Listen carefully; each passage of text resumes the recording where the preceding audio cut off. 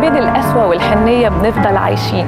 ماشيين بعقارب الساعة. حبك عبادة مثل الموت والولادة صعب بأن يعاد مرتين. الألفة والترابط ده ده اللي شفته من والدتي الله يرحمها. إمتى حسيت إن أيام الشقة والتعب خلصت؟ ما عمري ما حسيت إن في حاجة خلصت.